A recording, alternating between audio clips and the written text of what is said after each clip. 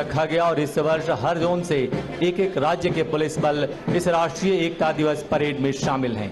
और यही क्रम प्रतिवर्ष चलता रहेगा, ताकि एक एक करके भारतवर्ष के समस्त राज्यों के पुलिस बलों को राष्ट्रीय एकता दिवस परेड में भाग लेने का अवसर प्राप्त हो सके।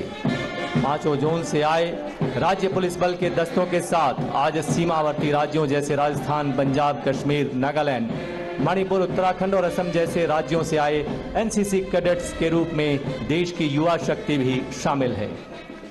परेड तेज कदमों से सलामी मंच की तरफ़ बढ़ती हुई। आज की राष्ट्रीय एकता दिवस परेड का नेतृत्व कर रहे हैं। भारतीय पुलिस सेवा के युवा अधिकारी Shri Raghav Jain, IPS, ASP, Gujarat police. भारतीय पुलिस बलों के बावन ध्वज एक साथ गौरवशाली मुद्रा में आगे बढ़ते हुए एक विहंगम दृश्य।